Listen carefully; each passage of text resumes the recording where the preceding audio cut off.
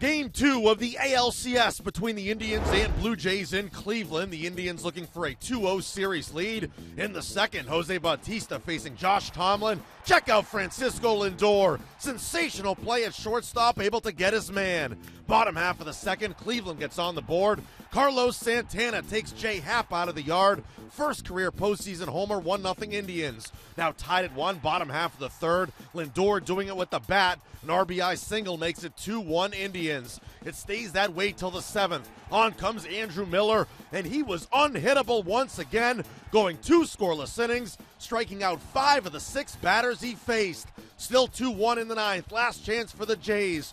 On comes Cody Allen. He gets Troy Tulowitzki to fly out to end the game. The Indians take it 2 1 and take a 2 0 series lead as they can jump for joy. Tomlin gets the victory, allowing one run in five and two thirds innings. The Cleveland Pen has now tossed six scoreless innings in the series, giving up just one hit. The series shifts to Toronto for game three on Monday. Pitching matchup is Trevor Bauer up against Marcus Stroman. Thank you.